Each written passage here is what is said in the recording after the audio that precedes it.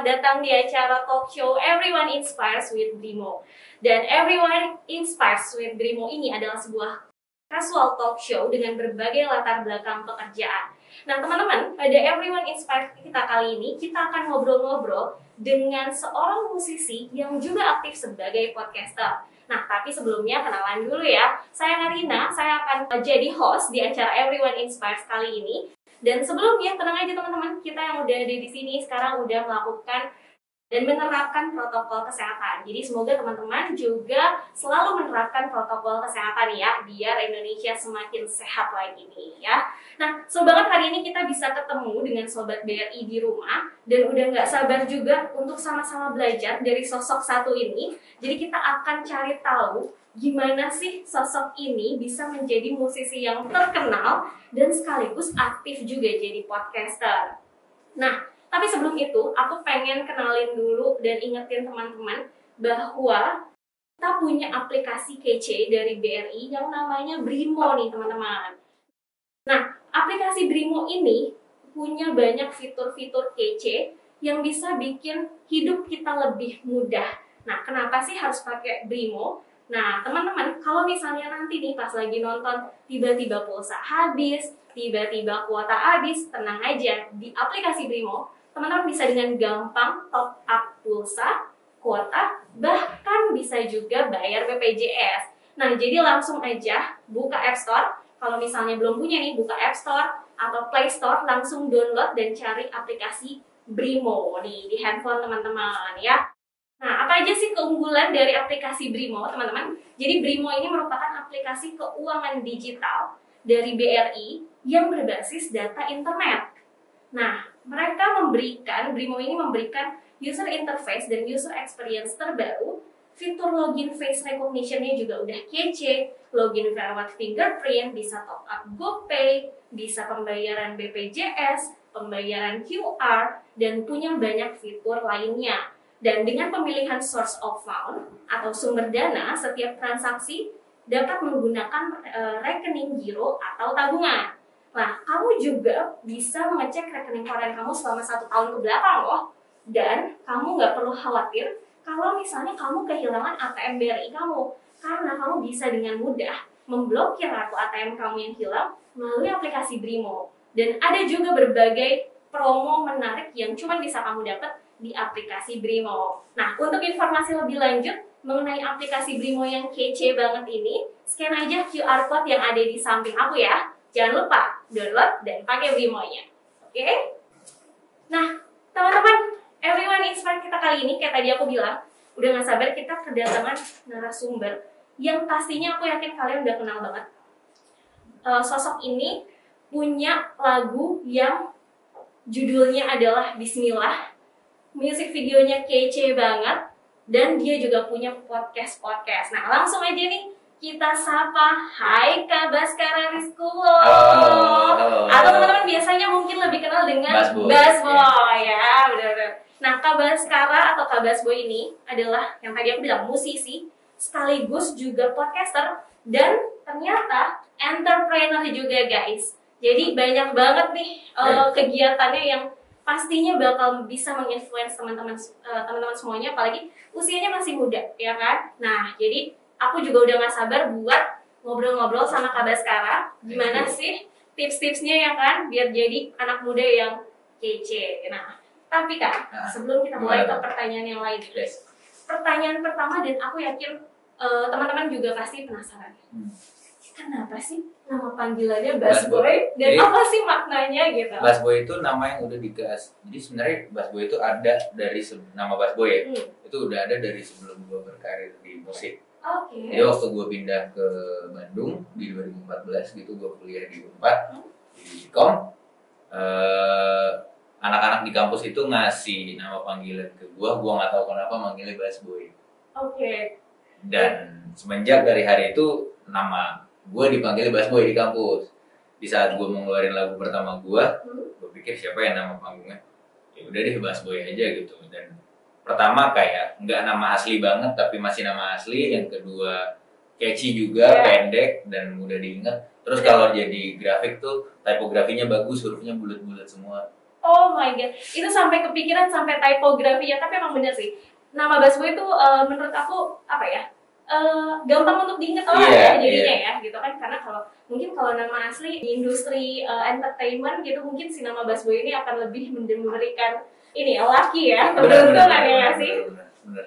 Oke oke jadi itu teman-teman kita udah gak penasaran lagi nih ternyata itu adalah filosofi nama Busboy. Iya, nggak ada filosofinya sih. Eh, ada filosofinya Pak. Iya, nggak ada filosofinya banget. Benar-benar tapi ya kita berharap dan berdoa juga nama itu bisa terus mengiringi Kak Amin, Busboy ya amin, amin, amin. keberhasilannya ya. Amin, amin. Tadi aku udah sempet bilang uh, spoiler ke teman-teman kalau Kak Busboy itu adalah seorang musisi, seorang podcaster bahkan juga seorang entertainer. Hmm. Iya. Nah kalau misalnya untuk bidang pekerjaan musisi sama podcaster itu dari kapan sih sebenarnya? Musisi itu sebenarnya sebagai pekerjaan Hmm. bisa dibilang mungkin udah dari 2000. Nah itu agak susah gue buat ngedefinisiin kapan musik jadi pekerjaan. Oke.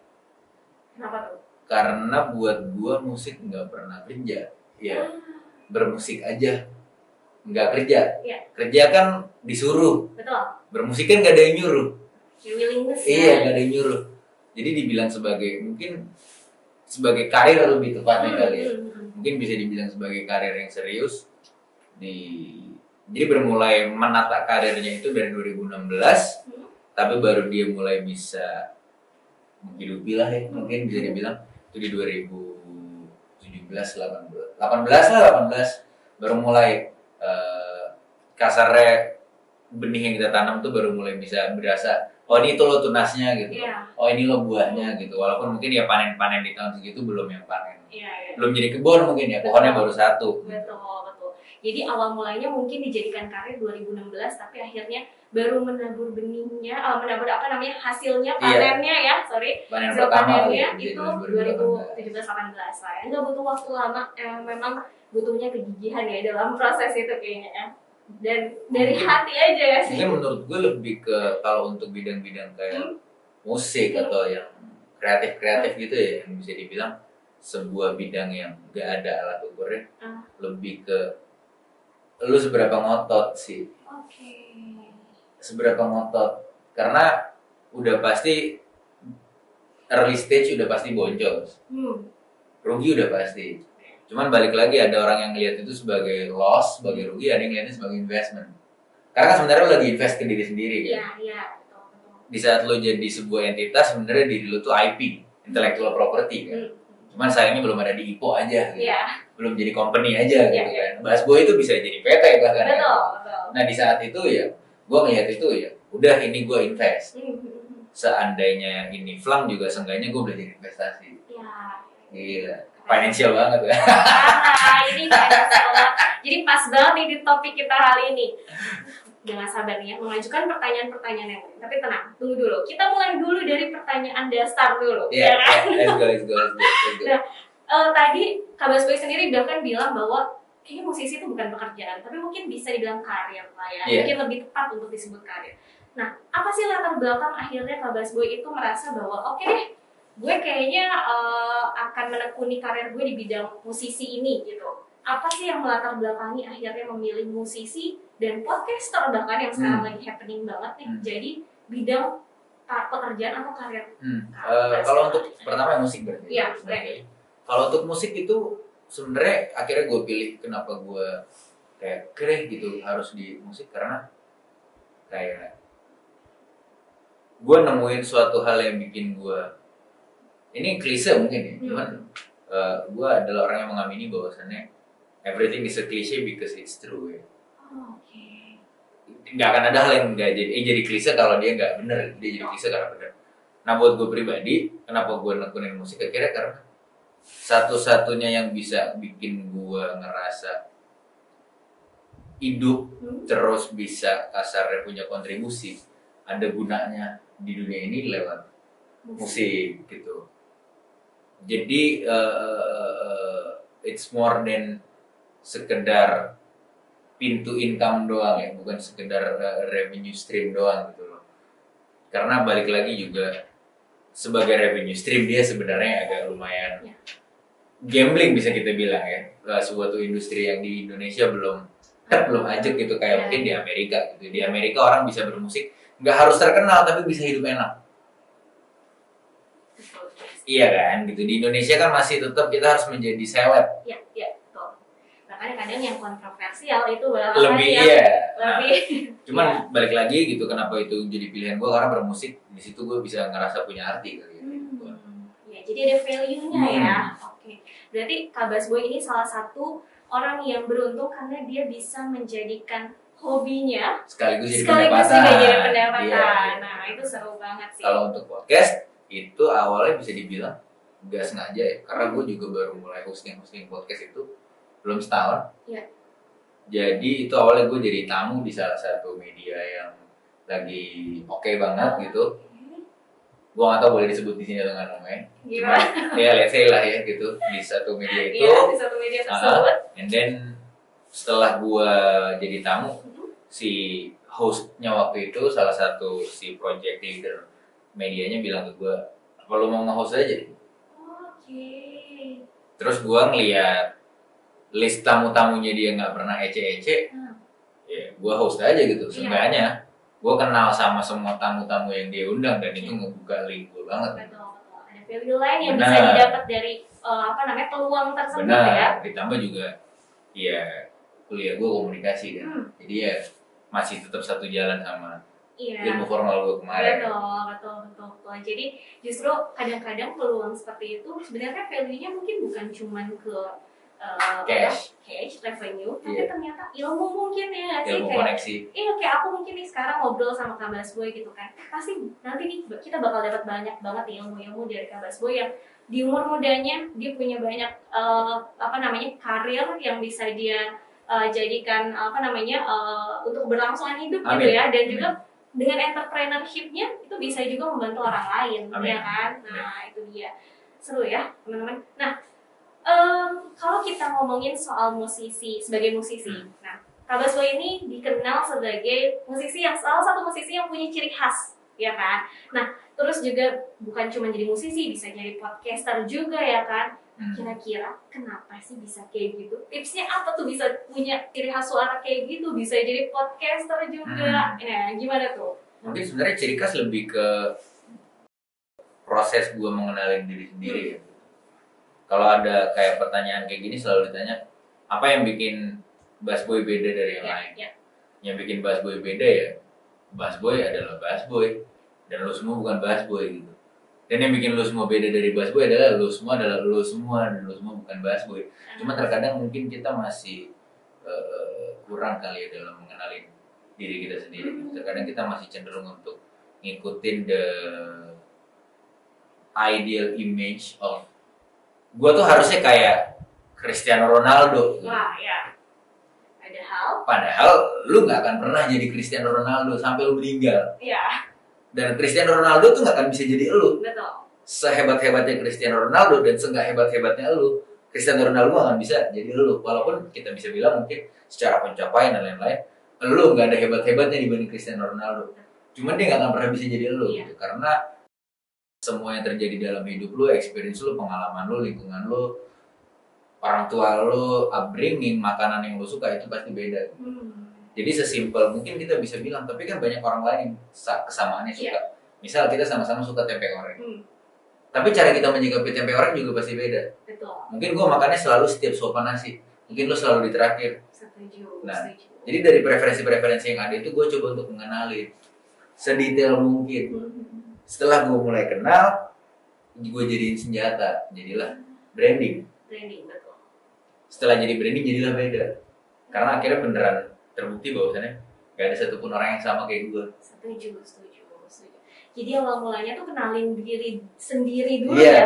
Karena kadang-kadang banyak orang yang sebenarnya justru nggak mengenali dirinya, dirinya sendiri. sendiri gitu, ya. Nah, Setelah kalian bisa mengenalin diri kalian sendiri itu seperti apa, di situ sebenarnya karena semua orang pasti punya value masing-masing, benar kan? benar benar Yang nggak ada di orang lain. Nggak ada. Tadi kata Kabas Boy kan. Jadi kalau misalnya kita udah mengenalin diri kita sendiri, kita tahu value kita di situ kita bisa nge-branding diri kita Iya, sebenarnya iya. ya. nah paling itu biasanya sebuah momen yang nanti akan sangat berat di saat mengenali diri sendiri adalah lo akan ngeliat borok diri lo Hmm. yang lo gak nyangka ah masa sih gue kayak gini Iya. dan itu kita kan butuh waktu bargaining yang lama ya emang bener ya gue separah ini Ah, Oke, oke. jadi eh, proses mengenali diri itu nggak seindah Iya. itu gitu karena nanti lo juga akan terpapar sama fakta-fakta bahwasannya lo tidak sehebat dan sebaik yang lo pikir Nah. tapi lo harus terima itu juga Iya betul. Dan mungkin bisa kalau kalau kita udah tahu kayak gitu ya dijadikan uh, hal positif ya Benar, gitu kan. benar. Jadi itu bisa jadi nambah value kita lagi. benar benar Ya kan? benar banget lagi deh benar ya kan. Karena nggak ada gunanya kalau kita udah tahu oh kita oke terus ngapain ya kan? Iya, lo benar, harus benar. lihat dari sisi lainnya Benar. ya kan. Oke keren banget ya teman-teman ya Kabas Boy ini. Nah Kabas Boy kamu kan punya karya yang kemarin terakhir ya lagunya tuh yang uh, sangat terkenal yang Bismillah itu ya sama Kak Kamda, Kamda. ya. Terus punya podcast juga. Music videonya juga kalau teman-teman lihat itu sangat kece banget ya colorful seru banget. Aku pengen tanya di balik itu semua atau di balik semua karya yang kamu punya sebenarnya pesan apa sih yang pengen kamu sampaikan nih dari karya-karya kamu baik itu di podcast ataupun di uh, lagu-lagunya Kabas Boy itu kira-kira apa sih value atau pesan yang pengen disampaikan? Hmm. Sebenarnya gue nggak punya pesan spesifik yang pengen disampaikan. Lebih ke gue pengen merefleksikan realita lewat kacamata gue aja. Karena mungkin salah satu kegelisahan gue adalah gue jarang bisa ngerasain refleksi realita yang relate dari musik Indonesia gitu. Seringnya biasanya musik Indonesia buat gue tuh biasanya kurang kontekstual gitu. seringnya ya aku sayang kamu akunya nggak tahu siapa kamunya nggak tahu siapa. Ini aku apa? Kelas pekerja kelas menengah kelas atas grassroots kamunya siapa? Pekerja kantor freelance? Iya, iya. sayangnya kenapa? Cinta segitiga segi empat segi enam segi delapan jadinya kurang eh, ibaratnya kalau pelajaran bahasa Indonesia itu ada latar plot. Latarnya kurang gitu. Loh Hmm, oke. cuman dapat emosionalnya gitu. Nah, yang pengen aku coba selalu sampaikan lewat lagu aku adalah aku pengen bercerita penuh. Karena kebetulan mediumnya rap ya, bisa lebih banyak berceritanya gitu. Iya. Mungkin ada beberapa lagu yang terutama yang gak nge-rap gitu agak sulit untuk dia bercerita sebanyak itu gitu. Memang harus kita nikmatin dari segi Iya. emosional. Nah, cuman karena aku tadi kebetulan rap gitu, jadi pengen itu disampaikannya se spesifik dan semeticulous itu. Hmm. Nah itu tuh yang pengen dicoba disampaikan. Oh, Lewat iya. lagu-lagunya. Kalau kalau podcast sendiri gimana? Sama nggak tuh kayak gitu? Kalau podcast juga bisa dibilang sama sebenarnya, cuman dengan medium dan format yang berbeda. Kebetulan kalau podcast kan kita dua arah, sedangkan kalau lagu kan kita satu arah ya, kita nggak ngobrol. Nah enaknya kalau podcast itu jadinya biasanya ada tektokan sama lawan bicara dan sering juga jadinya sebuah reality check ya bahwasannya tidak semua orang satu opini sama kita. Iya, ya, betul. Jadi itu ya. Jadi lebih ke pengen menjadikan musik itu atau lagu itu sebagai apa ya berdasarkan apa yang realita yang ada aja Iya, gitu. Merefleksikan. nge-reflect, iya, gitu loh. Betul, betul, betul. Nah, kalau Kabas Boy sendiri kan tadi eh, apa namanya kamu juga eh, bukan cuma musisi, podcaster, dan kan ada satu lagi entrepreneur, Iya. ya kan punya beberapa eh, apa namanya punya Jadi beberapa bisnis. gitu kan. Kira-kira gimana tuh cara ngebagi waktunya dengan kegiatan yang banyak banget nih, ya Hmm. kan? Sementara satu minggu cuma tujuh hari, ya Iya. kan? Gimana cara kamu akhirnya bisa membagi biar semuanya tuh berjalan dengan lancar? Eh, mungkin bisa dibilang eh, salah satu cara untuk ngebagi waktu untuk kerjaan yang multi ya bisa kita bilang ya ada banyak ya itu yang mau dipikirin kayak gua kebetulan ada empat gitu nah salah satu manage, eh, trik gua nge-manage waktunya dalam empat ini adalah yang pertama dibantu bahwasannya empat ini datangnya nggak berbarengan Oke. Empat ini datangnya kan musik dulu jadi di saat 2, 3, 4 datang, musik itu udah di fase di mana bisa lebih autopilot. Iya. Karena pasti kalau di saat musiknya lagi merintis banget terus sambil buka brand, waduh, aduh, aduh. Pusing ya? Iya, pusing sih. Apalagi sambil skripsi, aduh, aduh, aduh. betul. Ya kan, gitu. Kebetulan musik udah dari zaman kuliah. Hmm. Jadi waktu setelah lulus skripsi, lulus kuliah, musiknya udah di jalan, udah di fase yang lebih enteng ya. Nggak yang harus kasarnya kalau anak kecil tuh udah SD, Iya. SD udah kelas 4 gitu, udah udah lu sekolah naik ojek aja gitu, Iya, udah ngerti, udah nggak harus disetirin, nggak harus disuapin gitu loh. Tinggal dipantau-pantau kan gitu. Terus barulah masuk yang lain-lain gitu. Jadi di saat anak pertama, nah itu tadi berarti ya, Ya. ngetrit itu kayak anak gitu. Oke. Walaupun gue belum pernah punya anak, cuman kebayang analoginya mungkin Iya gitu. betul. Biar lebih gampang Iya. sama teman-teman ya kan. Ya mungkin enaknya di saat mau ngambil anak kedua atau pengen punya berencana beranak kedua sih, kalau bisa di saat anak pertama udah nggak butuh perawatan yang sangat intens. Iya. gitu. Setuju, setuju. Jadi ngebagi waktunya nggak full di satu satu eh, apa satu tempat Iya, ya, tapi karena bisa kebayangkan maksudnya di saat orang punya anak empat empat empatnya baik iya umur tiga bulan, waduh. benar. Jadi itu tipsnya teman-teman. Kalau misalnya kamu merasa kamu pengen punya banyak kegiatan atau Iya. misalnya ternyata bahkan kamu memang sudah punya banyak kegiatan, itu tipsnya dari Kak Basbo. Jadi jangan eh, sampai tuh kegiatan satu dan kegiatan lainnya kamu benar-benar pulin di satu eh, waktu yang bersamaan. Benar. Tapi kamu harus punya eh, mungkin harus lebih bisa memilah gitu ya. Benar. Mana dulu yang mau dilakuin, Benar, ya benar. kan? Dan Oke. sebisa mungkin sih kalau pengen multi kegiatan itu atau multi bisnis dan segala macam. Nggak harus ya, cuman ini akan lebih mudah aja. Kalau satu bisnis ke bisnis yang lain atau satu kerjaan ke kerjaan yang lain itu berkesinambungan. Ah, Jadi kalau dapat achievement, let's say ya misalnya gitu, Bass Boy achieve di musik, hmm, dapat penghargaan atau apa, value-nya naik. Iya. Terus orang tahu Bass Boy megang brand ini, brand ini juga ikutan naik dong. betul. Nah itu jadi kalau ada ketersinambungannya bisa lebih mudah juga untuk Iya. kontrolnya, tapi akan susah misalnya kalau yang satu musik, yang satu lagi misalnya pemasok aspal Iya. gitu. di Kalimantan susah kan gitu maksudnya nggak ada Kayak nyambung nggak ya, nyambung gitu. nyambung. Cuman bukan berarti nggak bisa. Iya betul.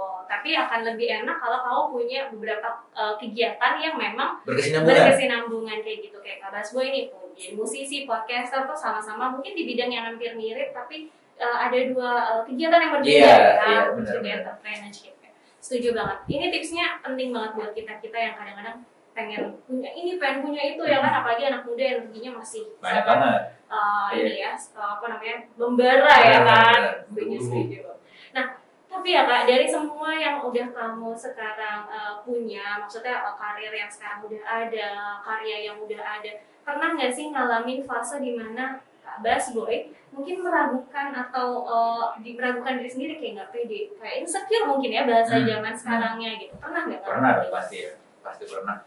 Fase itu datang nggak cuma sekali terus lewat terus, yay I'm free gitu. I've passed this situation enggak gitu. Ntar itu bakal datang berkali-kali. Mungkin dulu waktu gue lulus lulusan, Iya.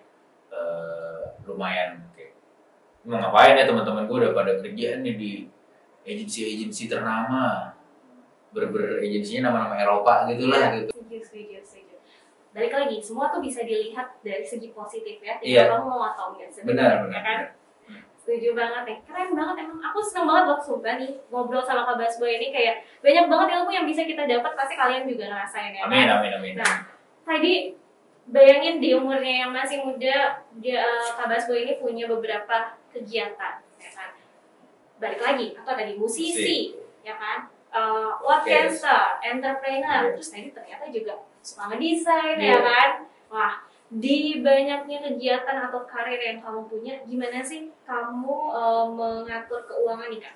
Nah ini seru. Nah gimana? Karena gue dulu orang nggak bisa ngatur keuangan. ah oke gue nggak bisa ngatur keuangan. Jadi dulu sepanjang 2019 2019 itu udah pindah ke Jakarta ya. Hmm. 2019 dan udah masuk manajemen terus panggungan udah banyak. Tapi ya dulu hidup bulan Februari itu didanain sama panggungan Februari. Oh. Hidup bulan Maret didanain sama pekerjaan di bulan Maret. Iya. jadi itu nggak pernah ada uang yang didapat di Februari itu bisa bertahan sampai lebih dari Februari. Iya, bulan ini, bulan ini, bulan depan, bulan depan. Sampai akhirnya corona datang, job di cancel. Waduh, waduh, waduh, waduh. Pusing. Iya, ketar ketir, atau ketar ketir baru dari situ belajar namanya nabung. hmm. Nah, akhirnya tuh gua, kalau gua sendiri untuk memanage uang itu adalah di saat uang masuk itu langsung gua pisahin di awal. Gua nggak tunggu bentar. Hmm. Ada orang kan mungkin yang dipakai dulu, ntar sisanya ditabung. oke Kalau gua tuh langsung dipecah. Gua tuh langsung bisa pecah ke tiga rekening. Terserah sih ya bentuknya mau rekening bisa atau mungkin mau disimpan di bawah kasur bisa intinya gua pecah ke tiga slot Hmm. Itu yang satu ini uang harian Hmm. di mana itu di situ daily expenses Hmm. yang satu tabungan yang satu dana emergency Oke. Ini ilmu lagi nih teman-teman. Jadi kalau udah dapat penghasilan, jangan nanti ya. langsung Ambil langsung. langsung Ya. karena kalau enggak berasanya punya uang let's say masuk let's say ya seba- sebagai contoh gitu lo masuk 10 juta Ya. lu nggak lu terus nggak punya 10 juta gitu lu tuh cuma punya paling 2 3 juta gitu 3 juta lagi kan harus buat masa depan lu gitu 6 juta lagi cuman itu terserah ya balik lagi pribadi Iya. masing-masing kalau gue pribadi gitu cuman kalau gue pegang di satu rekening 10 juta kayak gue di 2019 ya gue berasanya gila gue duit gue 10 juta nih jadinya nggak ada limiternya gitu Iya, mungkin ada yang buat, ya. iya mungkin buat teman-teman yang nonton lebih bisa punya limiter diri mungkin ya eh, lebih baik gitu ya mungkin bisa dengan cara itu cuman kalau gue pribadi kan karena nggak bisa gitu Hmm. makanya gue bisa Ya, jadi itu sebenarnya tips dan triknya kalau kamu ngerasa kalau kamu punya satu sumber dana dan kamu nggak bisa melimitasi itu, ada baiknya dari pertama kali kamu punya penghasilan langsung aja tuh dibagi-bagi ya iya kan? dibagi-bagi atau bisa langsung eh, dibagi dua mungkin ya kalau pengen lebih simpel dibagi dua jadi uang masuk dibagi dua misal uang masuk 10 juta kan kita kan pasti bisa ngitung biaya pengha- eh, biaya hari sehari-hari kita makan daily expenses lah ya betul. makan listrik laundry mungkin buat anak kos bayar Hmm. kos nge-gym bayar gym Iya. pokoknya yang harus dibayar lah Betul. yang harus setiap bulan di just dibayar itu dihitung let's say misalnya total semua kena 4 juta Hmm. Berarti ada sisa 6 juta 6 juta ini lo masukin langsung ke tabungan Ya.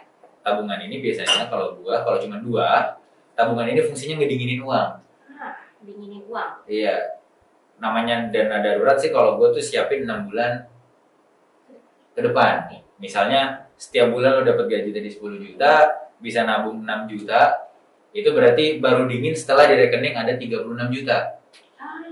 Di atas 36 itu baru sisanya uangnya bisa lo putar-putar jadi investasi jadi apa kripto Ya, jadi ya. saham Ya. atau lo pengen apa pengen apa tapi seenggaknya ada 36 secure cuman balik lagi menurut gua 36 tadi itu nggak harus ya di saat lo misalnya punya gut feeling ini daripada 36 dia mending 36 gua putar jadi model kaos gua men gitu. lo yang lebih ngerti situasinya nggak pernah ada patokan pakem karena Iya. cuman ya memang kalau mau aman ya 6 bulan Setuju, setuju. Oke. Itu tipsnya, ini tipsnya tuh nggak dari buku ya, tapi ini dari sendiri realita ya. kan? ya kan? Ini dari pengalaman, jadi lebih menurutku ya ini lebih valid buat kita bisa contoh nih ya kan, gimana kesuksesannya Kak Basbo ini ya karena dia bisa mengatur keuangannya dengan baik gitu ya kan. Nah ngomong-ngomong soal mengatur keuangan, Hmm. Kak Basboy tahu nggak soal yang namanya aplikasi Brimo nih? Tahu nggak? Belum dari tadi baca nih Brimo Brimo Brimo Brimo tapi belum tahu Brimo tuh Wah, apa sih aku harus kasih tahu nih untuk Kak Basboy dan Hmm. teman-teman juga. Nah, jadi Bank BRI Indonesia itu punya yang namanya aplikasi bernama Brimo. baru nih Dan salah satu keunggulan dari Brimo adalah dia bisa mengatur keuangan, yaitu PFM namanya. Nah, fitur PFM ini digunakan untuk membantu nasabah untuk menginformasikan jumlah pemasukan dan juga pengeluaran yang dilakukan selama bertransaksi menggunakan channel BRI. nice nice nice banget. Jadi kayak tadi kamu sempat bilang tuh kan tentang apa namanya eh, mengatur keuangan, dipisah-pisah ya tadi kan ya. dipisah-pisah. Dengan Brimo ini Brimo bisa bantu kita buat melihat dan memonitor pemasukan dan pengeluaran oke kita. jadi bisa dipisah-pisah tanpa harus buka tiga rekening. Bisa cukup nice nice. Keren ya, iya mantap emang. Nah, Kak Basboy, selain itu aku juga punya pertanyaan. Kalau misalnya menurut kakak, apa yang bisa membuat Kak Basboy Hmm. akhirnya bertahan dan tetap yakin untuk gue harus lanjutin karya-karya gue? Walaupun di luar sana banyak orang-orang yang mungkin juga pengen seperti kakak atau hmm. challenge yang besar di industri ini, apa yang bikin Kak Basboy yakin bahwa harus tetap bertahan untuk berkarya dengan eh, tujuan kakak tadi? Gimana? Hmm. Karena gue kalau nggak bikin ini nggak jadi gue Ah, sesimpel itu aja Simpel. iya kalau nggak ada duitnya gue bisa cari duit di tempat lain terus duitnya gue oper buat ngerjain musik gitu kasar let's say di saat misalnya musik nanti udah nggak lagi menguntungkan hmm. buat gue jangan sampai kalau sudah bisa jangan sampai jangan sampai gitu. Jangan sampai ya, Jangan kita sampai. doain Cuma bareng-bareng ya. misal, misal, Ya, kita studi kasus. Misal, ya gue sesimpel, gue akan cari uang di tempat lain, ya terus gue akan hidupin musik gue gitu. Karena gue bermusik berkarya, gue desain, gue bikin baju, gue bikin sepatu, ngebuat ya, membuat itu udah jadi identitas, udah jadi kayak tujuan my purpose of existing gitu loh. Kayak buat apa gue ada kalau nggak ngelakuin begitu buat buat gue pribadi gitu. Jadi nggak bisa nggak lanjut. Hmm. Andai bisa nggak, andai bisa gitu. Karena capek sebenarnya. Iya. Andai bisa satu gue nggak bisa gitu. Dan kalau gue berhenti kayak kayak kayak sakit kali gitu ya Hmm. kayak gila kayak udah ada di dalam dirinya gitu Ah. udah naluri ya Ah. untuk terus apa namanya berkarya lagi bikin musik baru Ah. bikin podcast baru gitu ya Ah. keren banget deh emang itu yang namanya makanya kita tuh uh, beruntung banget Kak Basbo ini salah satu dari orang yang bisa menghasilkan pemasukan nih dari hobinya jadi yes uh, enjoy gitu ya melewati setiap prosesnya. Tapi buat kalian yang nggak seperti Kak Basbo yang mungkin pekerjaan yang nggak relate sama hobi, ya nggak apa-apa juga gitu. As kalian melakukan itu dengan uh, enjoy, mencintai apa yang kalian lakukan. sebenarnya kalau buat gue pribadi lebih ke eh, eh, kalau dibilang kalau ditanya gue enjoy atau enggak sebenarnya gue juga menderita Hmm, nggak ada bedanya sama yang karena kan orang akhirnya suka banget. Ini topik yang sering banget terjadi di anak muda anak muda tuh suka banget ngebanding bandingin kreatif sama ngantor. Hmm, Iya kan? Seakan-akan lu lebih enak enggak lebih enak lu. Lu lebih enak enggak lebih enak lu. Menurut gue dua-duanya nggak ada yang enak. Iya. namanya hidup di dunia pasti menderita. Lu harus milih menderitanya mau kayak gimana. Ada orang memilih kerja kreatif freelance jadi entrepreneur. Kepuasannya dapat batin tapi penderitaannya adalah eh, omongan tetangga omongan orang tuanya kamu ngapain sih kerja kayak gitu? Terus eh, finansial yang nggak stabil. Ada orang yang milih keenakannya adalah finansial yang stabil tapi penderitaannya batin. Ah, kok gua nggak explore? Kok gua nggak ini ya? Lu pilih aja penderitaannya mau yang mana gitu. Kebetulan derita yang gue pilih yang ini. Iya. Tapi balik lagi semuanya.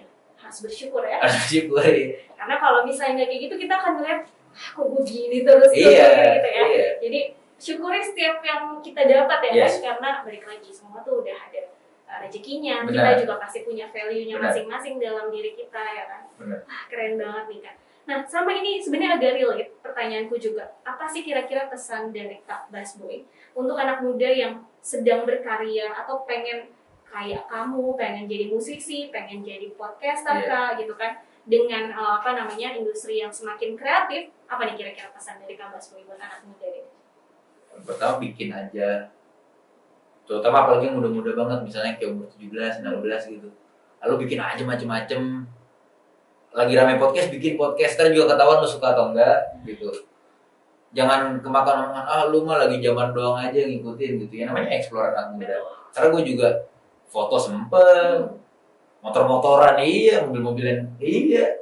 Iya maksudnya gue banyak ngelakuin akhirnya ada yang ternyata oh ini gue suka banget ini sukanya di sini ini sukanya cuma sebagai hobi ini sukanya cuma sebagai selingan gitu Iya. nanti akhirnya lo setelah mencoba banyak hal lo akan tahu yang mana yang lo paling suka dan lo bisa ngurutin gitu Iya. dan dari situ baru nanti lo bisa tentuin yang mana yang bisa lo seriusin mau jadi karir kah atau cuma jadi sebagai hobi kah Iya. baru nanti karena semakin banyak referensi lo semakin enak lo ngambil keputusan. Karena kalau nggak ada referensi atau nggak ada susah ngambil keputusan ya kan? susah ngambil keputusan kan yang menjadi isu anak muda adalah susah mengambil keputusan Iya. karena minim referensi Setuju, setuju. Jadi explore aja ya. sebagai explore anak aja muda. dulu Mumpung kita masih muda, explore. Hajar aja deh semua Iya. yang kalian mau ya. jadi referensinya banyak ngambil keputusannya jadi lebih enak sama set timeline sih misalnya bisa gitu bilang Iya, set timeline lu lah yang tahu timeline yang paling cocok buat lu berapa lama Hmm. misalnya lu pengen nyoba bidang A 10 tahun gitu let's say misalnya bikin lukisan gitu Iya. 10 tahun eh, nggak works works terus 10 tahun kelaparan ya mungkin sudah saatnya itu bukan jadi karir tapi jadi hobi kali ya Betul. udah saatnya untuk mencari pemasukannya dari yang lain tapi melukis jadi hobi Itu sebabnya harus punya referensi lain itu ya. kan harus referensi gitu Biar nggak stuck nih. jadi nggak cuman jadi kacamata nggak kacamata kuda gitu Iya. Tuh, tuh, tuh. Setuju banget, setuju. Ya mumpung masih muda, nanti kalau kita udah semakin berusia, kita semakin bingung nih mau ngapain Benar, lagi ya kan. karena mau ngambil resiko udah takut Betul. Jadi mumpung masih muda, explore aja ya kan. Nah, pertanyaan yang terakhir kak. wih udah di ujungnya kita Dari ujungnya. Cepet banget ya kalau Iya. ngobrol kayak gini ya. Udah ya saking, waktu. saking serunya kita dapat ilmu tapi ngobrol dengan santai ya nggak sih? Ini pertanyaannya adalah, aku yakin teman-teman juga pasti uh, penasaran. Tips dari Kak Basboy biar kita nggak lelah, nggak gampang lelah nih, atau nggak pernah lelah untuk terus berkarya. Karena mungkin kadang-kadang namanya kalau anak muda suka, kita kan lagi mencari jati diri ya. Iya. Jadi kadang-kadang kayak, ah apa sih kayak gini ya kan. Hmm. Gimana tips dari Kak Basboy biar semang, eh, anak muda semangat terus buat berkarya, nggak nggak gampang nyerah, nggak pernah lelah untuk berkarya.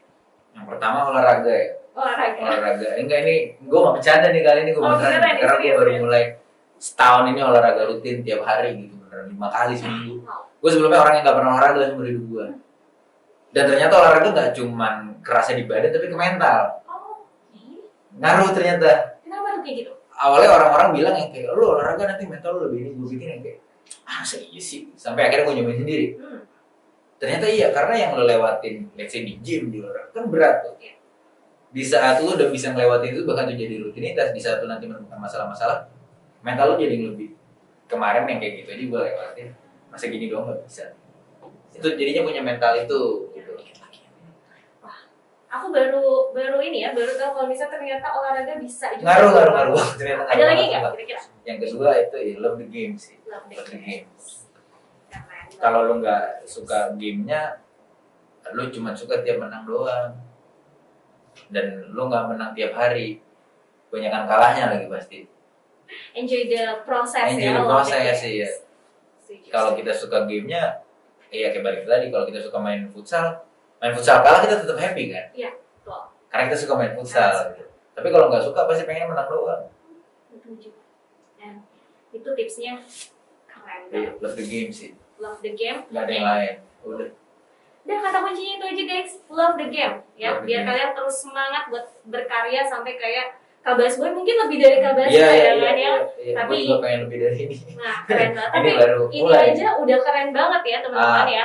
Nah, makanya teman-teman juga harus bersemangat terus, berkarya terus, ya kan? Ya. Enjoy the uh, process, love the game, love the game ya. Ah, keren banget nih tipsnya. nabung nabung jangan lupa nabung Nabung. nabung jangan lupa nabung Oke, jadi tips terakhir dari Kak Bas Boy kalian harus ingat terus untuk menjadi anak muda yang terus semangat, nggak pernah nyerah, ya kan? Love the game. Jadi kalian harus enjoy the process biar kalian semangat terus nih guys. Nah, Kak Bas Boy ya ampun, ini nggak kerasa banget ya. Iya. Cepet banget emang kalau ngobrol-ngobrol kayak gini, padahal ilmunya banyak banget. waktu men Waktunya. nggak berasa emang selalu Thank you banget nih Kak Baswe udah uh, apa namanya mau sharing sama aku dan juga teman-teman yang ada di rumah. Thank you banget ini semoga ada manfaatnya pasti sangat amat bermanfaat ya teman-teman. Aku Amin. aja merasakan banget Amin. manfaatnya, teman-teman juga pasti kayak gitu ya kan. Terima kasih banyak udah Yes, datang ke sini, udah sharing pengalamannya My yang pleasure. kece banget, kasih kita tips yang banyak, kasih kita informasi juga yang seru-seru banget. Aku berharap sukses terus di karirnya, Amin, di amin, semua amin, amin, kegiatannya amin. ya kan. karena juga Musisi. lancar lancar sukses selalu juga Thank you banget. Musisi juga jalan jangan lupa ya Iya. kan. Terus berkarya ya. iya pastinya Thank you banget ya Kak Basbo ya. thank you Karina Sampai jumpa lagi di lain kesempatan dan Oke. sebelum pamit aku mau kembali lagi kasih tahu sobat-sobat BRI. Nah, saat ini BRI memiliki aplikasi Brimo yang versi terbaru untuk mempersiapkan bisnis model baru ke depannya nih, teman-teman. Nah, pergeseran habit nasabah yang sebelumnya mungkin kita bertransaksi lewat unit kerja BRI, terus kemudian ke shifting ke ATM, SMS, banking, diharapkan ya ke depan seluruh nasabah mulai bisa bertransaksi melalui internet banking nih teman-teman. Nah, cara daftar Brimo-nya gampang banget. Eh, aktivasi aplikasi Brimo juga gampang banget. Langsung aja teman-teman, eh, langsung aja download aplikasi Brimo di App Store atau di Play Store-nya ya. Nah, cari Brimo ya, aplikasi terbaru dari Bank BRI Indonesia dan kalau misalnya kalian pengen tahu fitur-fitur yang kece dari aplikasi Brimo, langsung aja scan QR code yang ada di samping aku ini. Oke? Banyak fitur-fitur serunya teman-teman dari aplikasi Brimo ya.